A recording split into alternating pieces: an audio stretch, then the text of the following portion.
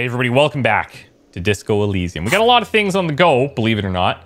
Uh, the most important thing, according to Kim, is that we got to inspect this body hanging in the backyard of the Whirling in Rags. The preliminary inspection, we just need to suppress the urge to throw up and approach it. So we're to, like, try our best. Um, we learned that this guy is a bit of a sleazeball. Thinks he's, like, high and mighty, runs a few cafeterias. He's, like, the most important person in the world. Uh, he's not, but he thinks he is. We've got to talk to this lady as well and check out this pinball machine, but Real Pinball Machine is unplugged. The theme on the pinball machine is a standard royalist theme, used on everything from pinball cabinets to full flavor cigarettes. Thank you, Encyclopedia. Uh, what are its uh, what are its hallmarks, Encyclopedia? Clinging to a picture book version of the past century, waiting for the king to come back and cast out all the profiteers and homosexuals. Basically, imagine a yellow plastic crown with a liquor band emblazoned on it. Wait, where do I, where would I get a crown? It comes free with a six pack of Vermilion d'Or. The words d'Or are stamped in the crown's plastic. Wow. The idea of a king in a century gone is pretty fascinating sentiment is called anti-centennial nostalgia, pining for a time before the turn of the century. It's common even now after 50 years. Cool. Okay. We're going to talk to her. We'll come back. Hopefully she's here. Because I kind of want to get to that dead body. He says it's urgent. Equip a flashlight in low light areas. All right. So what do we got going on? They said it was out back. Rue de Saint Ghislaine, 8B. Electronic doorbell, an old call box with a matrix of push button lists all the companies in the East Delta Commerce Center. We've got uh, Main Hall, Andrew Orlando Hair, Artemite P's Boxing, 24 Hour Window, Emma's Fashion, Favren's Taxi, Slipstream, Fortress Accident, Revachol Ice City, uh, Whirling in Rags, main hall B. Empty cards. What? Let's see how this works. Electronic doorbell. Nothing happens when you ring the doorbell. They don't want to talk to you. Okay. Cool. So maybe these are just like uh, office, like an office building of some kind. There are bottles inside. You could pick them up if you had a bag. Okay. Keep that in mind.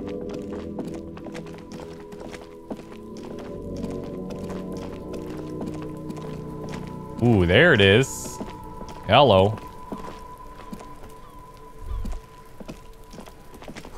Smells like spoiled meat and curdled dairy. A human being decomposes. So this has been here for seven days. And then we got here like, what, three or four days ago, essentially. And like, nobody's doing anything about it. What's this? There are several footprints in the mud left by work boots. Anywhere from 6 to 12 pairs have walked here. Visual calculus, baby. This is our jam. 83%. Let's get an exact count, please. Come on now. Mm, maybe more than 12? No, eight pairs of boots have shuffled back and forth in the mud. Let's go over them one by one.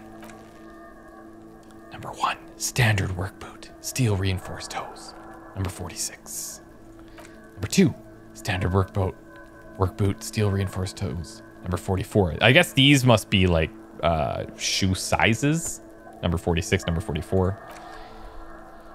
Hobnailed work boot, steel reinforced toes. Number 43.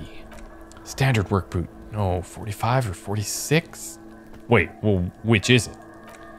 You don't know. It's a miracle you can tell the prints apart as it is. the cold must have preserved them. Okay, let's keep counting. Number five, another standard work boot. Steel reinforced toes, number 44. Number six, aberration, light as air.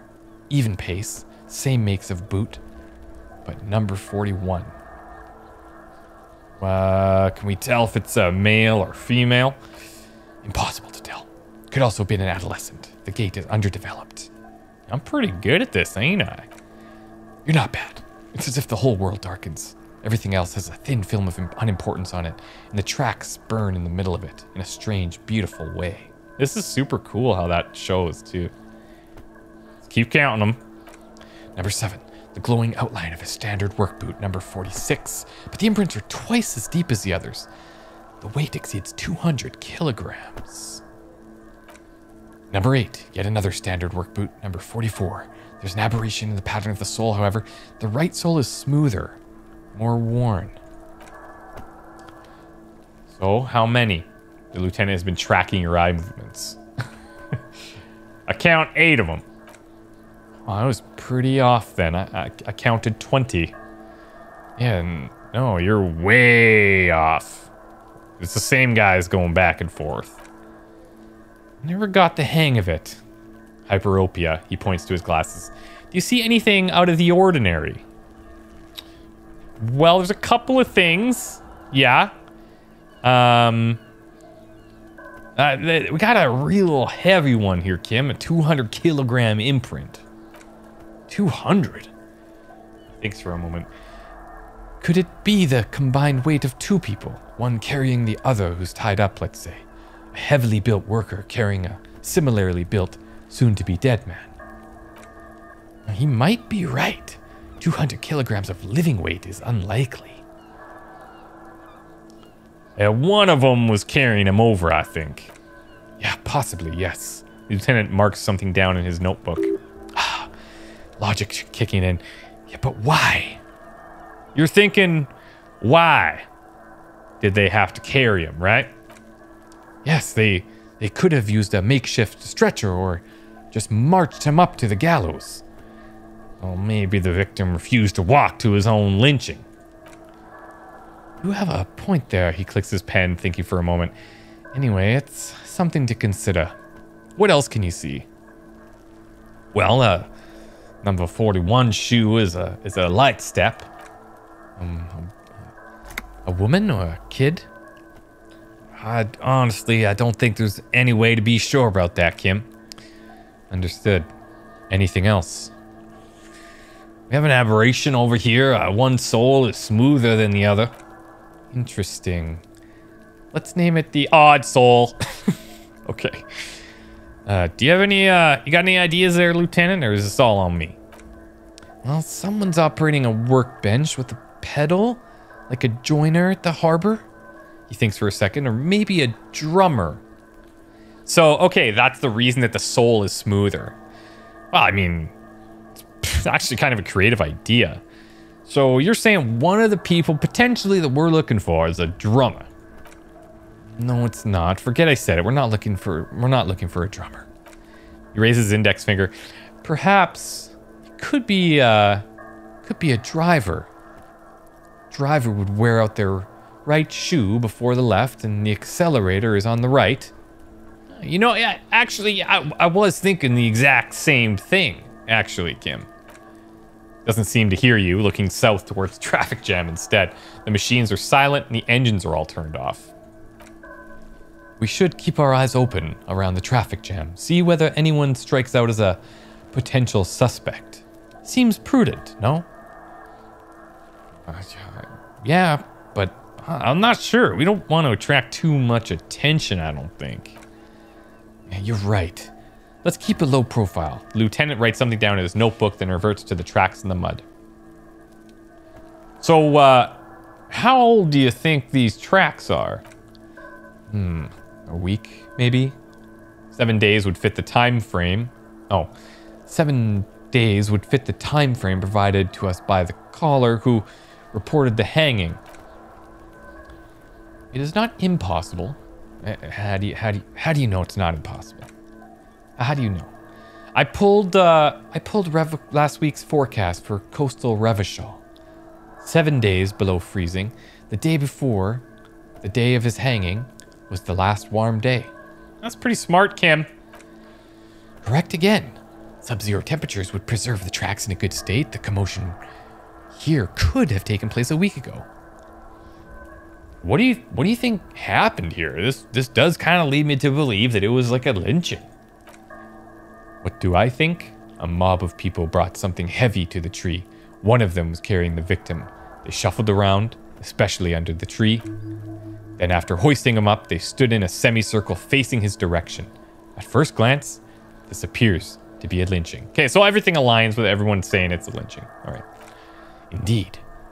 They all stand in a, stood in a row here and looked at the tree. Yes, everything fits so well.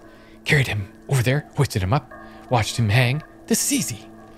I think we have a pretty firm understanding of what happened here. Lieutenant's eyes narrow. He's thinking to himself. Either way, he concludes. What else? We've been through all of it, as far as I can tell. Okay, cool. We got a lot out of that. So all the evidence seems to line up with the lynching aspect. Bunch of people, one of them carrying the, this guy, the hanged man. The corpse looks at you with bulging white eyes. The face around them does not look human. It's swollen and ready to burst. His lips are fish-like and his tongue like a ball gag in his mouth. You seem to be holding your breath. Just look away. The cargo belt twists his neck at an unnatural angle. The body below appears stiff. It's letting out an ungodly rot. The smell seeps in even though, or even through your clenched nostrils. God, what is that? Why is it so bad? Active decay. The lieutenant raises a white piece of linen to his nose. It's okay to throw up, officer. No one is judging. He's about to blow. The cop's gonna blow, Cuno. yeah, probably. Uh, this is not looking good. Let go of your nose without throwing up. Do we have anything that's impacting endurance? No. Okay, this is to be rough, but we'll try our best. 3%. No whammies. We need a double six. Okay, excellent. The smell is repulsive. It pushes in from your mouth. More instant and more familiar than anything you'd expected. More fever than odor. It fills your mind, flushing you from within. We gotta, gotta get out of here. Not happening. Ugh. Can you hear like the individual chunks hitting the ground? Too late. It's impossible to keep it in. Your blood, your body curls and pushes it out burst by burst until a pool of vomit lies under your feet and your throat stings from the stomach acid. Oh, God. I'm sorry, Kim. It's okay. Happens to everyone. The lieutenant keeps or hands you his white handkerchief. Keep it. Thank you, Kim. Got the lieutenant's handkerchief. The hangover is clearly making this worse for you. You should use some ammonia to clear your head. Ammonia? You think ammonia would help? If you can handle the headache, he nods.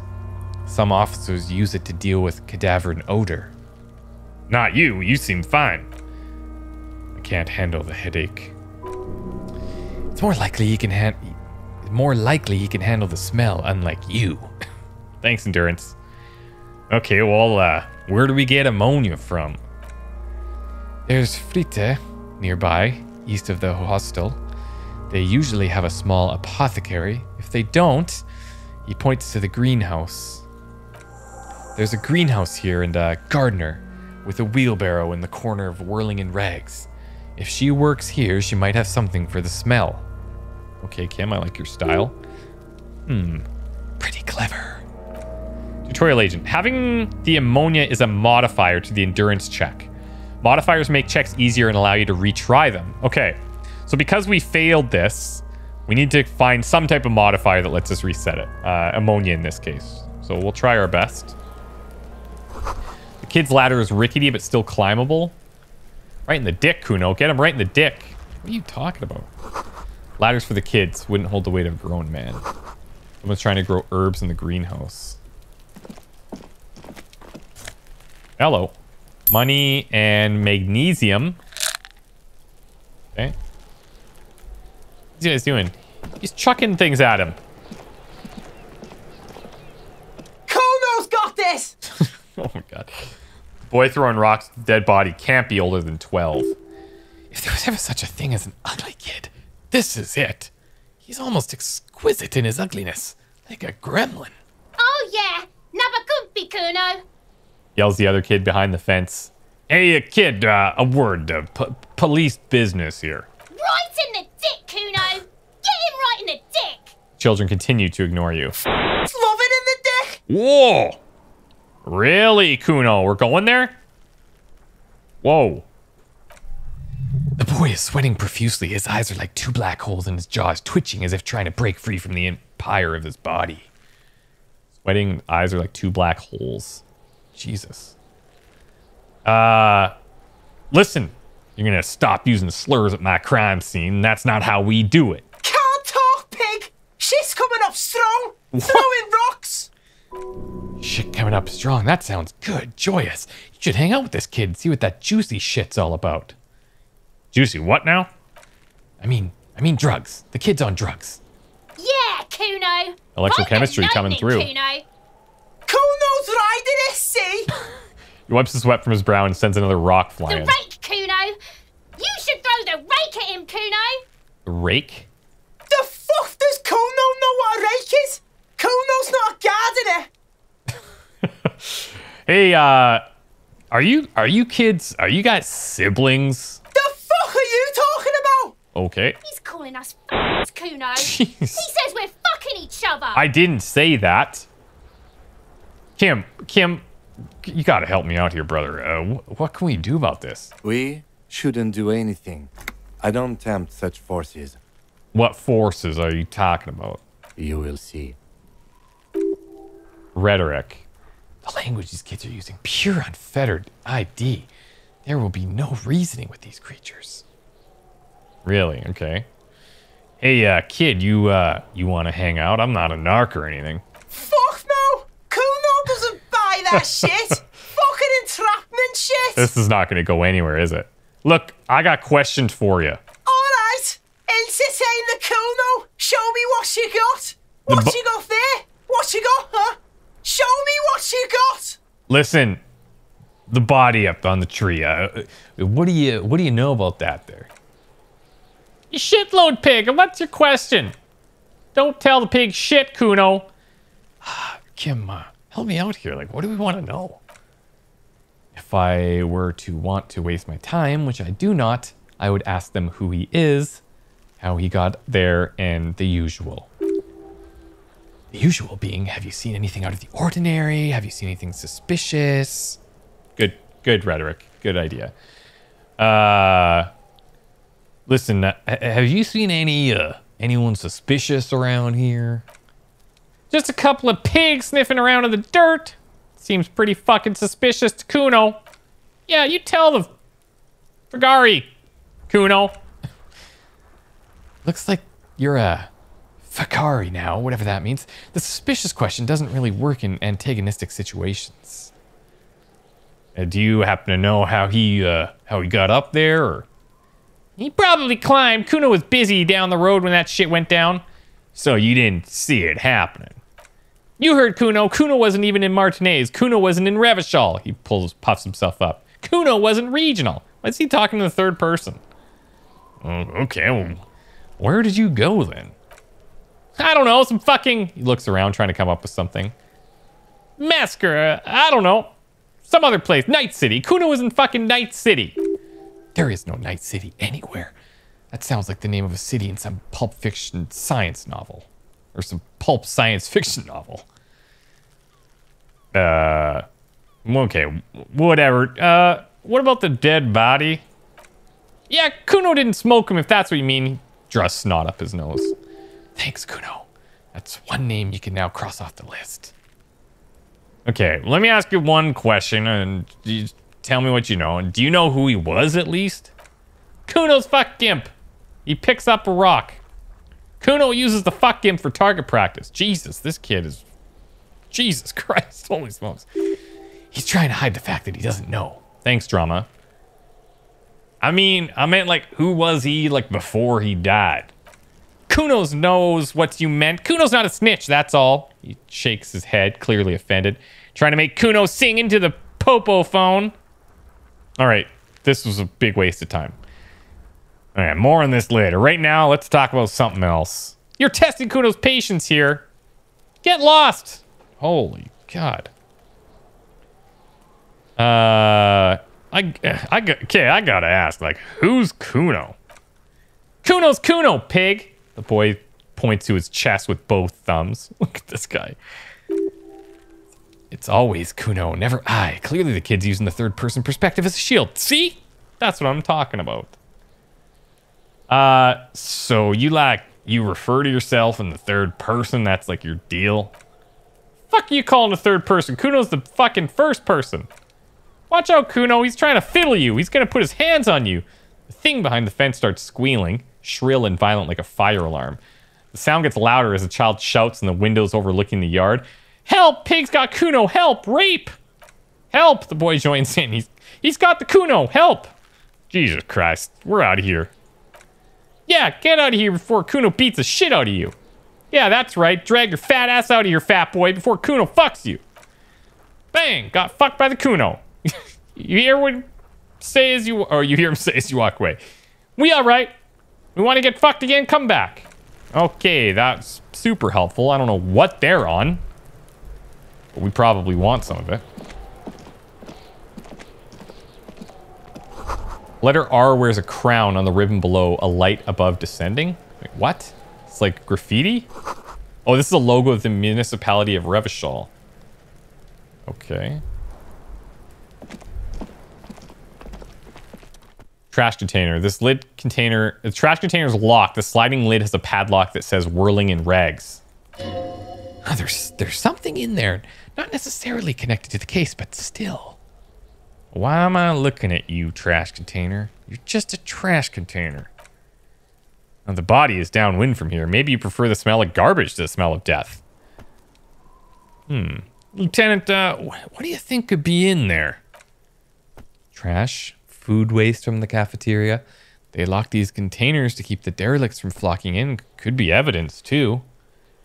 Well, that seems like a reasonable assumption, I guess.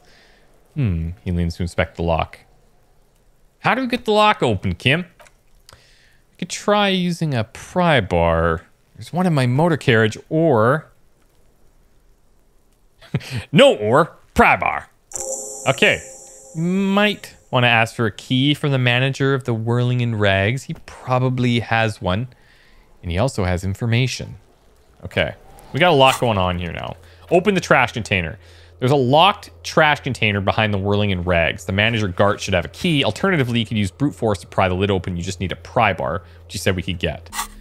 Uh, we also have this now, Lieutenant's handkerchief. Uh, in the corners adorned with lace and tiny embroidered portier. All right. So he said, uh, where was it here? Get ammonia from the gardener or the Fritz store. It'll make it easier. And he said that there was a gardener on the corner of the whirling in rags.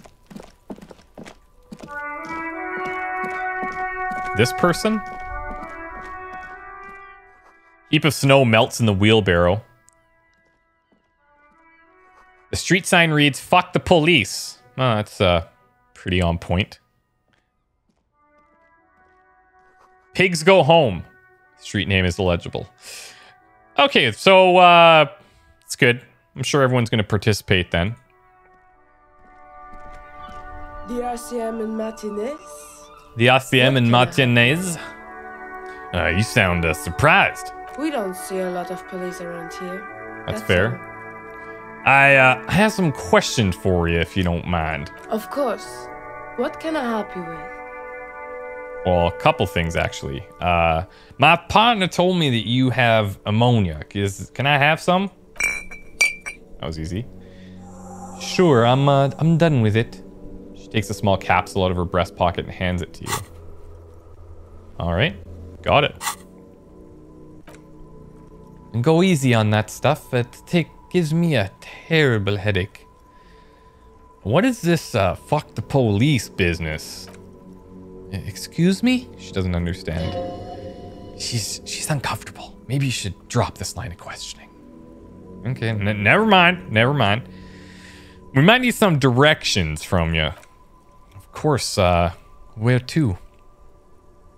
Well, uh, where am I? What do you mean? I'm a bit, uh, I'm a bit disoriented. Like, this is, this is Revachol, right? Uh, yes, sir. A district of Martinaise. She looks around, thinking what else to say. This intersection is called uh, Roundabout the North. He knows where we are. He just wants directions. The lieutenant seems uncomfortable with the level of disorientation you're displaying. okay. Uh, we can ask one of these. Uh, what's up in the north? Uh, there's the pier, the Capeside apartment buildings, some more tenements. Not a lot, really. Let's see what else there is. Uh, okay, in the east, uh, the harbor gate, some kind of commotion, I think. Uh, I don't follow the local politics, she shrugs. A fruit store, too. Okay. And uh, what about the south? Uh, some shops and a bridge. The canal leads to the coast, but it's broken, I think. Some kind of accident, probably. And uh, what's on the other side of the canal?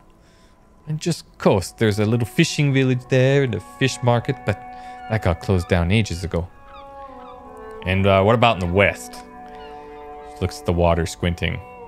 That's uh, just water. No matter, I, I think they call it the Martinaise Inlet. There are some islands in the bay, but they're hard to reach. All right, thanks. That's all for now. No problem. She nods, flushing, brushing a fleck of soil off her cheek. I gotta run. Thanks for the ammonia. Of course, I won't hold you back. She wipes her brow with a canary yellow glove. Her gloves. You get the feeling that you need them. You have a dead body to deal with after all. really? Uh, that's cool. One more thing. Uh, uh, can I borrow your gloves? I hope I'm not asking too much. Sure. Keep them. I have another pair. She hands you the rubber gloves with no visible annoyance.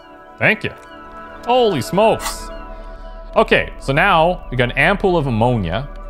We got new gloves. So, uh, interfacing. So, interfacing, master machines, pick locks, and pockets. Let's take a look at that. Cool for machinists, tinkerers, and instrument players. In interfacing wants you to connect to machines to use and improve them because they make you a better human organism.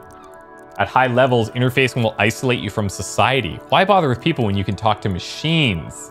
And why bother with things like money when you can just pocket that display sandwich? Huh. At lower levels, you will have a crucial part of the world cut off from you. People use machines to commit crimes all the time. If you can't understand a crime was accomplished, how can you solve it? Fair point. Fair point. Well, now that we have that, uh, let's go back.